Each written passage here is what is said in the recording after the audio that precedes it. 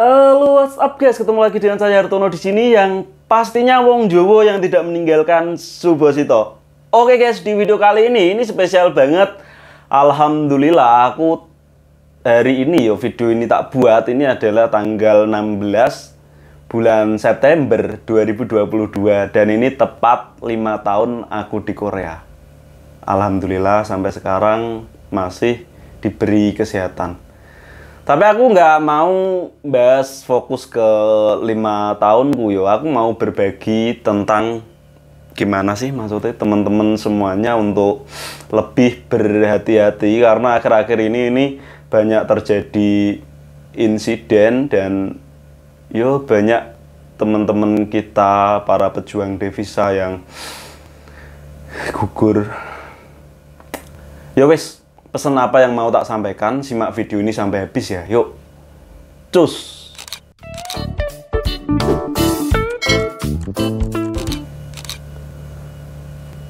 Oke guys, assalamualaikum warahmatullahi wabarakatuh. Buat yang baru gabung, salam kenal. Buat yang udah stay di channel ini, terima kasih banyak udah stay di sini.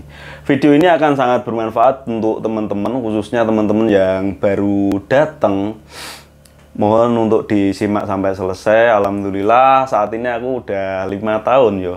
Dan ini aku mau ngasih beberapa pengalaman dan juga himbauan untuk teman-teman agar berhati-hati dalam bekerja terus menjaga kesehatan.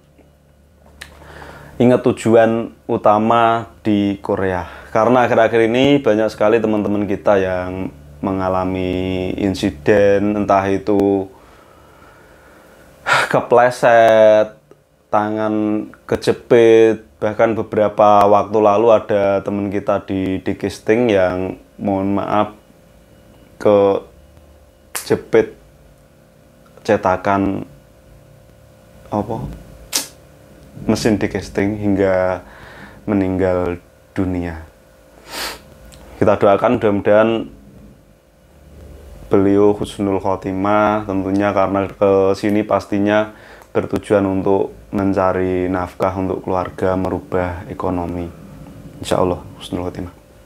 Terus untuk teman-teman yang kecelakaan juga banyak. Jadi aku mau membahas beberapa sebab-sebab yo.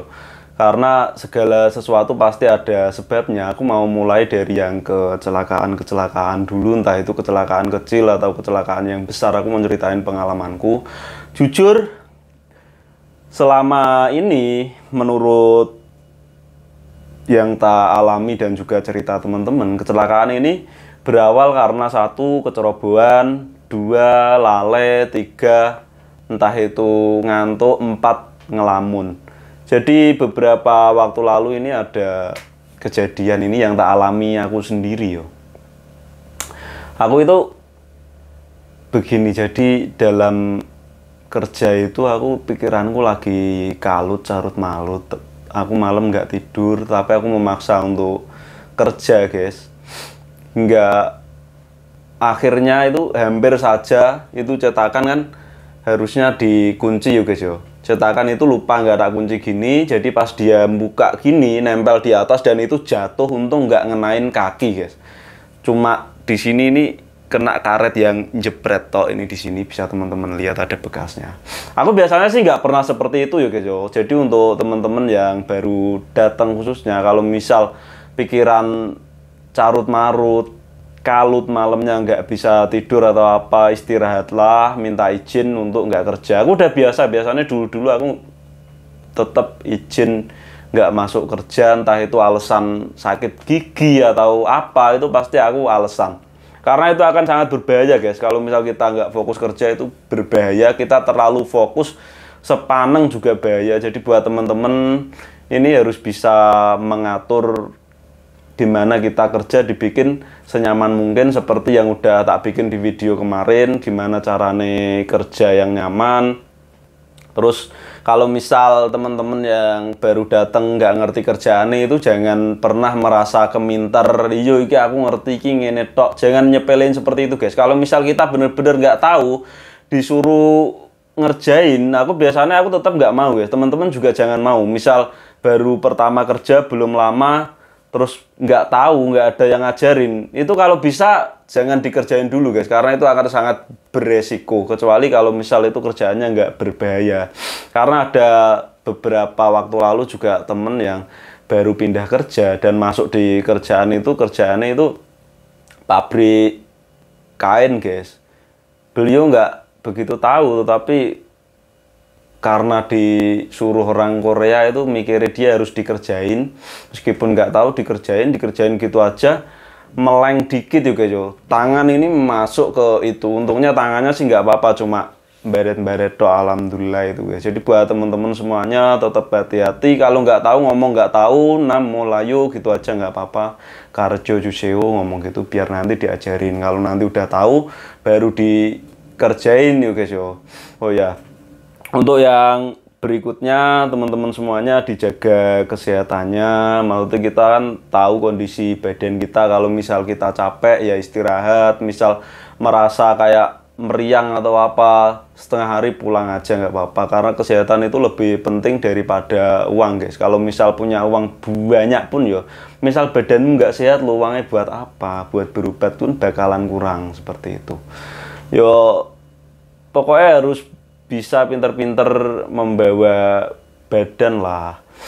Misal udah capek kerja juga jangan yo main game boleh tapi jangan terlalu sampai lupa waktu karena beberapa waktu lalu ada teman kita yang gugur gara-gara yo mungkin teman-teman udah pernah lihat postingannya dikarenakan ini beliau ini kerja pulang kerja itu langsung ngegame ngegame itu sampai nggak kenal waktu guys. Karena aku sendiri pun pernah mengalami ngegame itu kalau udah asik saking asiknya itu bisa sampai ketiduran sendiri. Ini temennya ini yo main game dari pulang kerja jam 8 itu sampai pagi jam 5 itu baru tidur. Jam 5 tidur jam 7 kerja. Bahkan di kerjaan itu sampai tidur-tidur jangan jangan seperti itu. Yo main game secukupnya waktunya istirahat istirahat pokoknya disayangi badannya lah. Terus untuk yang berikutnya mungkin teman-teman untuk masalah makan ini makan juga harus kita jaga pola makan yang teratur istirahat teratur tadi. Kalau misal udah jamnya tidur ya tidur HP dimatiin. Masalah sih HP sebenarnya ini kayak masalah. Aku sendiri pun sering mengalami nggak bisa tidur karena main HP tapi yang paling sering membuat gak bisa tidur itu masalah perbucinan ya guys buat teman-teman mungkin udahlah dikurangi bucin tenang saja jodoh udah disediain. Kalau misal galau boleh tapi jangan terlalu nemen-nemen. Disetelkan dulu di los nih ay beneran. Bahaya karena ini bisa ke mental juga ke kesehatan. Pikiran ini yang paling utama banget. Pikiran guys beneran yakin. Ah Wah, kok aku malah ngeblank bahas percintaan. Masalah percintaan juga kalau terus nggak jelas. Aku juga sekarang udah, yo wis tak pasrahno karo Gusti Allah. Intinya seperti itu. Untuk masalah makan tadi guys yo. Kembali ke makan. Untuk makan teman-teman dijaga pola makannya. Makan makanan yang sehat-sehat.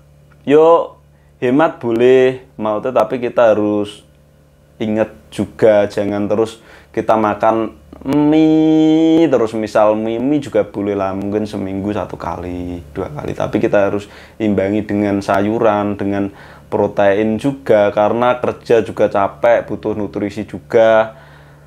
Karena ada beberapa temen itu yang yo aku sih mengamati itu karena bahkan mie terus sampai sakit akhirnya tipes tipes ada yang tipes tok mending tipes diinfus sembuh itu ada yang sampai usus buntu itu apa ndak sayang duitnya niatnya niat ngirit tetapi malah kepelirit. Untuk masalah makanan bener-bener mie itu nggak dianjurkan untuk setiap hari. Yo kalau misal makan mie masih sama nasi harusnya tetap sama nasi. Jadi mie nya buat lauk tetap dikasih telur atau apa tetap makan sayuran kalau bisa yo guys yo. Yo guys mungkin itu tok untuk berikutnya yang bikin teman-teman nggak jelas kesehatan semakin buruk juga di sini. Kita kan tidak dipungkiri minuman-minuman beralkohol itu kan juga bebas tuh guys. Harganya pun murah 1500 2000 udah dapat minuman beralkohol entah itu soju atau apa. Itu kalau bisa dikurangi misal masih suka minum yuk inget batas karena ada beberapa temen juga yang overdosis minuman sampai harus lari ke rumah sakit sampai harus kehilangan apa nyawa kan sayang banget meninggal pas posisi minum begitu. Aku sih nggak mau apa-apa sayangi kesehatan yang paling penting. Kalau misal minum orang sini memang minum tapi orang sini tahu batasan-batasan lah. Mau tuh nggak langsung minum sekali minum banyak. Orang sini kan bisa minum tiga botol empat botol kan karena tiap hari minum dikit dikit dikit. Jadi ki gimana yo di sini udah terlatih khususnya kayak kita nggak biasa minum sekali minum terus banyak nanti jeglek mending jangan minum beneran. Kalau untuk udut nggak apa-apa sih udut untuk sekedar menghilangkan stres itu nggak masalah tapi juga harus dibatasin juga. Intinya jaga kesehatan guys. Kita harus pintar-pintar menjaga kesehatan kita jauh dari orang tua jauh dari keluarga mungkin juga di pabrik di kamarnya tidur sendirian. Kalau misal nggak jaga kesehatan kita sakit itu kita sendiri yang merasakan guys. Makanya kita harus benar-benar jaga kesehatan jaga pola makan jaga pola hidup sehat. Misal capek yaitu tadi istirahat. Jangan sampai capek dipaksakan untuk kerja apalagi minum doping. Itu udah sangat-sangat tidak dianjurkan karena ada banyak sekali teman-teman kita para pejuang devisa PMI Korea itu yang yo Iya, yo karena memaksakan diri minum doping itu sampai akhirnya ada terjadi yang pernah tak bahas sama Pak Bagas Munib itu waktu itu juga duka Korea itu. Itu kan karena terjadinya simjang mabi ataupun gagal jantung guys. Karena jantungnya itu piye yo yang harusnya capek lemes itu istirahat gitu. Kalau istirahat kan langsung bugar lagi. Tapi itu nggak istirahat tapi malah minum minuman yang apa ya doping lah. Jadi kan kayak semacam keratindeng entah apa di situ. Kan di sini ada monster itu tuh. Itu minum juga nggak apa-apa tapi jangan terlalu sering. Nggak bagus efeknya di jangka panjang bahkan jangka pendek juga nggak disarankan minum minuman yang sehat-sehat aja misal tajin enggak apa-apa. Air putih sih yang paling sehat recommended itu banyak minum air putih olahraga juga. Misal teman-teman Sabtu Minggu libur diisi dengan hal-hal yang positif ingat tujuan utama duitnya jangan dihambur-hamburkan. Ya wes guys mungkin cukup sekian video kali ini. Nggak ada niat untuk menggurui hanya sekedar sharing-sharing dari pengalaman teman-teman yang udah terjadi jangan sampai terjadi kepada kita semuanya. Mudah-mudahan kita selalu diberi kesehatan. Berangkat utuh pulang utuh.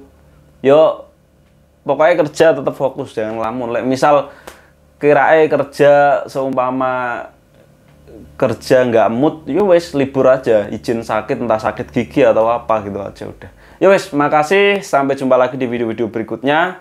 Sehat selalu semoga kita semua pulang membawa kesuksesan dan merubah nasib keluarga dan menjadi orang yang bermanfaat untuk lingkungan sekitar khususnya untuk seluruh Indonesia pada umumnya. Sampai jumpa lagi. Wassalamualaikum warahmatullahi wabarakatuh. Bye bye.